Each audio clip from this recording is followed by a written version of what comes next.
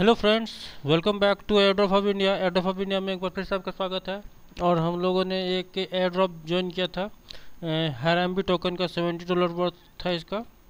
तो इसका एक अपडेट आया है कि इसका भी टोकन डिस्ट्रीब्यूशन अब शुरू होने वाला जिसके लिए यहाँ पे के वाई प्रोसीड्यूर कर प्रोसीड्यूर है। तो इसमें सिंपल के करना है। आपको जिस ईमेल एड्रेस से आपने इसके एयर ड्रॉप में पार्टिसिपेट किया था, वही सेम ईमेल एड्रेस आपको यहाँ पे देना है।